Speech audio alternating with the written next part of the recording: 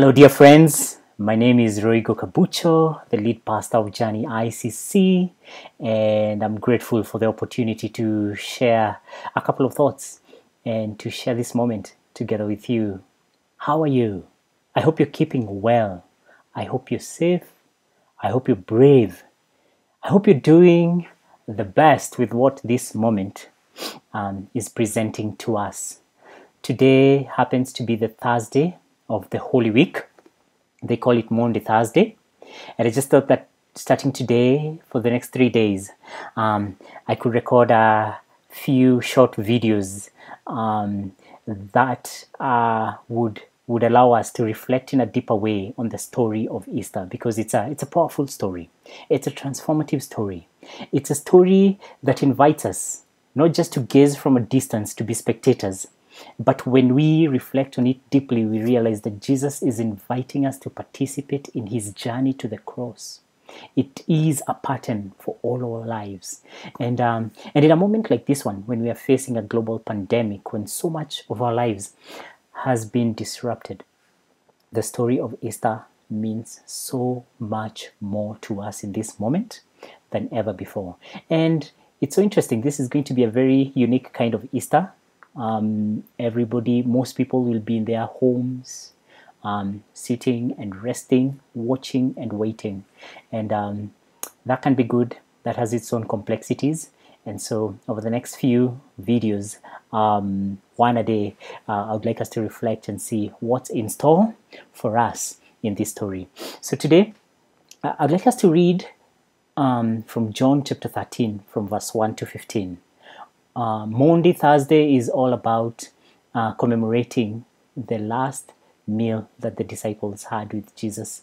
And um, he did something so dramatic. He bent and washed the feet. And so, as we read this story, uh, I invite you to listen in, to, to, to, to read along if you're able, uh, but above all, to, to pay attention to, to what is there for you in this story. So, John chapter 13, from verse 1 to 15.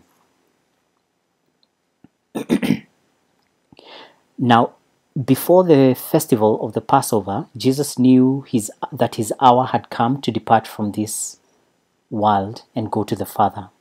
Having loved his own who were in the world, he loved them to the, to the end. The devil had already put into the heart of Judas, son of Simon Iscariot, to betray him.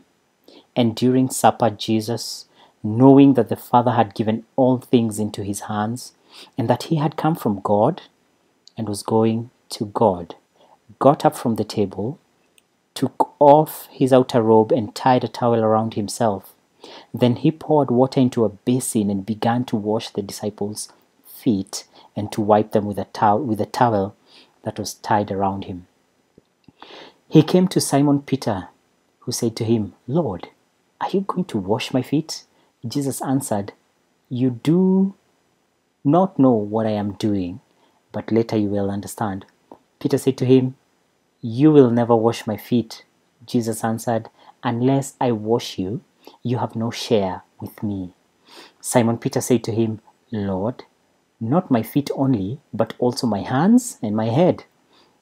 Jesus said to him, One who has bathed does not need to wash except for the feet, but is entirely clean.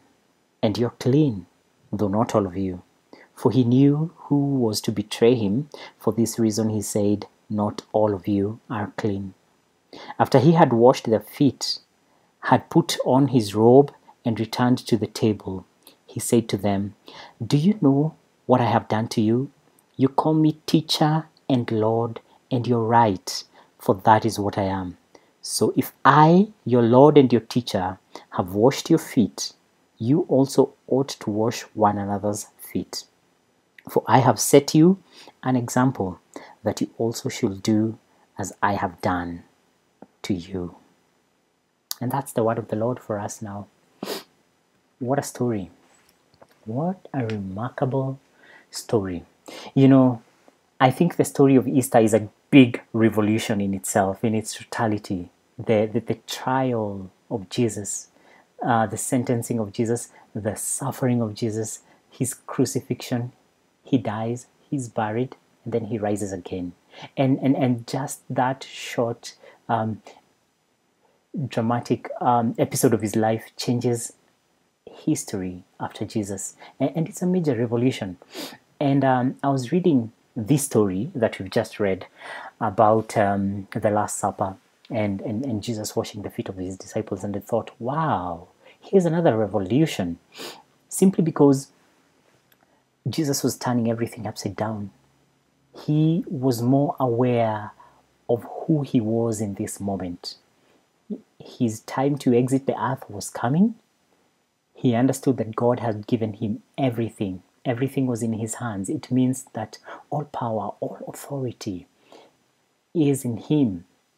So he understood that he was in a, in, in a, in a very powerful position in, in all creation. Um, and he looked at his disciples and he knows they call him teacher, they call him Lord. And with all that in his mind, he gets up, takes off his outer, and washes the feet of his disciples. In other words, he's saying power, privilege, dignity, status, anything you have been gifted is meant for service. It's meant to serve one another. It's meant to, to wash the feet of another, to find out where it hurts most, to find out where there's greatest need, and to serve. And, and that's a revolution that our world could have thrived if we grasped it. And, and, that's one of the ways we can we can we can engage in a deeper way in the story or in this story today. Uh, but before we get out i would like to draw you to to the other half of the story. The other half centers around a man called peter. So apparently peter looks at jesus and he just can't believe what he's doing jesus are you washing the feet of everyone because according to peter yeah you are our lord and our teacher and then you are doing such a lowly thing. And he says to Jesus, No, you won't wash my feet. Um, you can't. And, and, and he pushes back, and Jesus insists, I have to wash your feet. And, um, and Peter says, Then wash my, my hair, my hair, my head and my hands as well. But Jesus says, you don't need a full body wash. You're already clean. And I think finally Peter gives in, and, and, and his feet are washed. And um, and, um, you know, when I thought about Peter, I, I saw myself, and I believe I saw most of us in a moment like this. Um, you know, we've been we've been asked, we've been requested, or we've even been ushered in a moment where we most of us are working from home. Uh, most of us, most of our workplaces had to close down. We are in a new season, a new kind of schedule, a new kind of normal. Um, I, I don't even think we are yet to get to normal yet, but we are just transitioning into into a space we do not know, and it can be very, very uncomfortable. Um, we don't like such a moment. I, for one, have struggled. The days are never the same. One of the days will be really good. I'll wake up, I'll be in a happy mood, almost whistling and humming beautiful songs and working. And at the end of the day, I'll be like, yeah, that was a really good day. Um, then almost like clockwork the next day comes and and i just feel this low mood and and i don't want to do anything and i'm you know and i'm uh, questioning the meaning of life it, has been such a strange season for me and um one of my struggles has been just the feeling that wow i'm, I'm just indoors. I feel like i want to be up and about. Uh, i'm just looking around and i'm like by the way people are suffering. What am i doing here? I have no ideas. I i feel like i'm just doing so little. Um, um i have this angst within me that this moment needs to change. This moment needs to pass away quickly. Not to mention you know the news that's coming up that's coming to our ears every day and um, and all the suffering we're seeing out there and, and you can get scared. And and this is not a pleasant season. This is not a moment we are willing to to embrace gratefully right? We are willing to embrace gratefully. And that's how peter's story reminds us of who we are at this moment. We want this moment to pass. Um, we, we we we are so used to defining our moments defining our schedules um, we're so used to orchestrating what we want with our days with with with our tasks and now that all all, all of that is nowhere um, and we feel not in control and not in charge, and, and we do not like that. Um, and we're pushing back against this moment. We want this moment to pass by quickly. Um, however, when I was reading this story, I felt something different, a different kind of invitation. We are being invited in the midst of all this to have a posture of embracing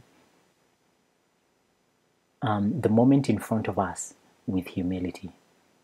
And, um, and that seems a bit weird. Like, yeah, I know this moment is not pleasant, this moment is not your preference.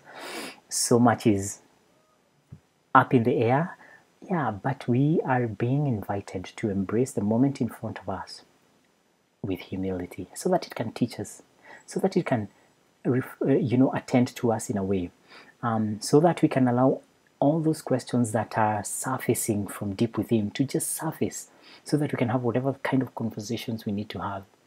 Or so that we can simply rest be at rest and and and and, and, and be reminded that life sometimes is not being about um, always being in control and in charge. Um, that as we nurture our lives nature sometimes has to attend to us and uh, and we just have to sit and watch. And it's it's not a comfortable place to be in but a place where we can learn a lot where we can learn a lot. So i i imagine if peter would have been more stubborn and told jesus no you won't wash my feet i would rather walk out. You know this very powerful story that we always read that means so much would have been told without the story of peter and I'm sure when all was said and done, when Jesus died and rose again and ascended into heaven, all those disciples were grateful that each of their feet were washed by Jesus. They had a story of how Jesus attended to them in that moment. And as Peter can attest, it wasn't comfortable. You know, for us, this is not a comfortable moment. But could it be that Jesus has rolled up his sleeves and is attending to us? With all our brokenness, with all our hang ups, um, with all the ways we have thought we are in control or we are powerful. And Jesus is humbly bending a knee and washing us and, and inviting us to see that, that life is about being more humble than we have been. There, there's a lesson to this moment. Um, if we can just sit back in, in surrender and just say, um, you know, I've done my best with this day, I've done my best with this season, but there's still more that I do not know. Lord, can I listen to you? Attend to me. And I think that's what um, uh, this story is inviting us to, you know, to humbly receive the moment, um, to regularly pause and, and just ask ourselves, God, how are you present here? How are you present in my life? What are you calling me to? Um, so that's what I'm learning from this story in this present moment. And um, in conclusion, I would just like to invite you again. What if you just take some time today, um, read those couple of verses, John 13, 1 to 15. Um, read them slowly a couple of times. See what stands out for you. Hear God's heart in that in, in that scripture and see how He's inviting you to live. And um, we'll discover that there's so much more. And uh, and so, my dear friends, as we go through this challenging um, uncertain moment, may God be with you, whether in pandemic, whether in isolation, whether in social distancing, whether in the midst of so much uh, um, un- un- uh, uncertainty, God is still our good shepherd.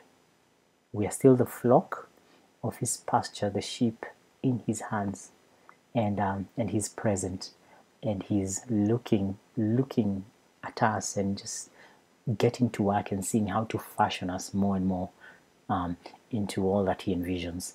So hopefully, we can learn to surrender to what this moment has in store for us. And uh, God willing, when it's all said and done, we'll emerge out of this with some treasures, some deep treasures that God has gifted to us in His grace. So may the blessing of the Father, Son, and Holy Spirit be yours now forevermore. Amen. Thank you so much for joining me. Um, may you have a truly meaningful season this Easter.